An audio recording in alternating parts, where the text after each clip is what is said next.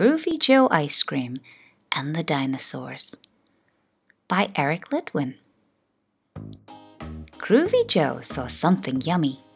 Groovy Joe started rubbing his tummy. Groovy Joe was living the dream. He had a spoon and a tub of ice cream, and he started to sing. I love my doggy ice cream. I love my doggy ice cream. Roar! Oh no! A little dinosaur stomped into the room. He glared at the ice cream and took out a spoon. He put on a bib. He pulled up a chair. What did Joe say? It's awesome to share and everyone sang. Love my doggy ice cream. I love my doggy ice cream. Roar!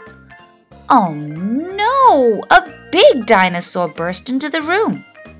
He glared at the ice cream and took out a spoon. He put on a bib.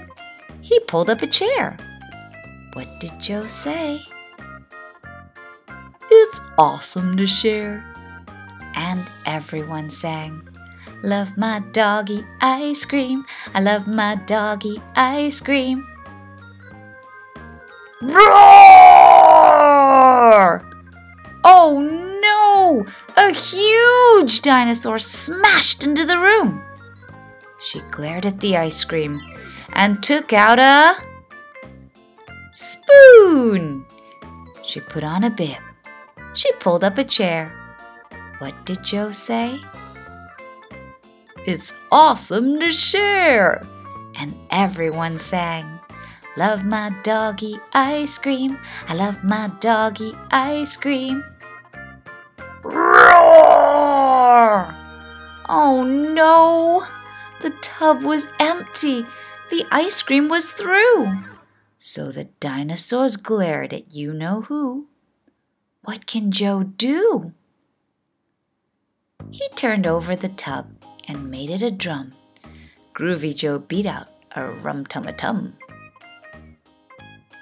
The dinosaurs laughed. They rose from their chairs. They started to dance. They jumped in the air.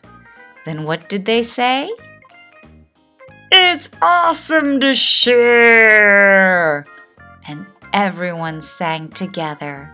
Love my doggy ice cream. Love my doggy ice cream. The end.